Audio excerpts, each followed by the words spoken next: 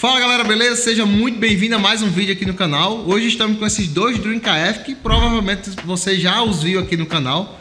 Nós gravamos aplicando o Odds Oil, que é um novo acabamento que nós estamos utilizando aqui na de Oliveira. E hoje nós finalizamos a montagem desses dois instrumentos, né? Do vídeo anterior você pôde ver apenas aplicando o produto.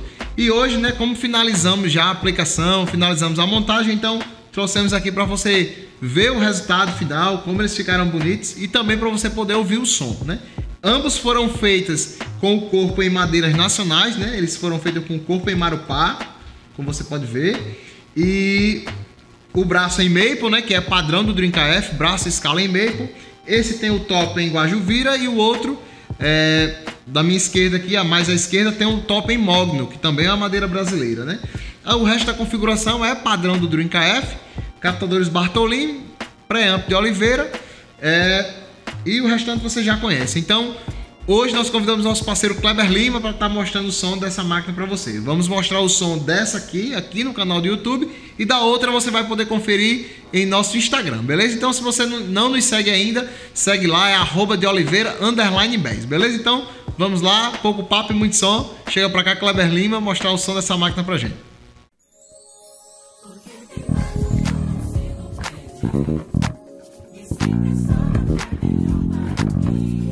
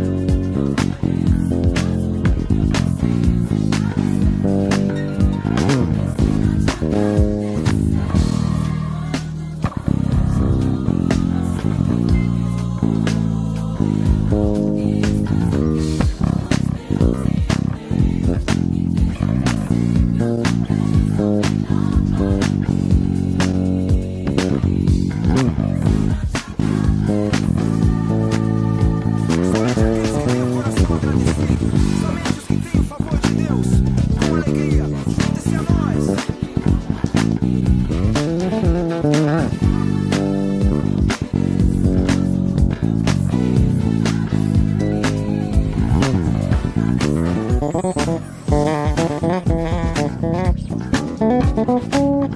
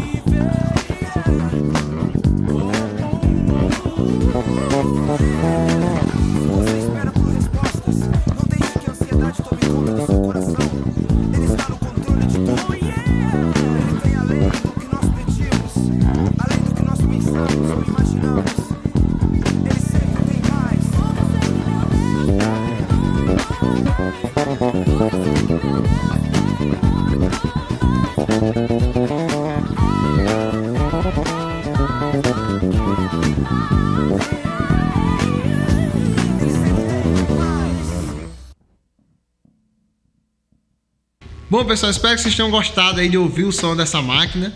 Como eu já falei, se quiserem ouvir o som da outra, praticamente o som é idêntico, né? É a mesma configuração. Então, vão lá no nosso Instagram, que vocês vão poder ouvir o som da outra máquina e poder também ver fotos, né? Ver mais de perto o acabamento que, que essas máquinas ficaram, beleza? E se você não é inscrito no nosso canal ainda, já se inscreva, deixe seu like, ative as notificações, que com isso você vai estar ajudando o nosso canal a continuar crescendo, beleza? Então, um grande abraço para você e a gente se encontra no próximo vídeo.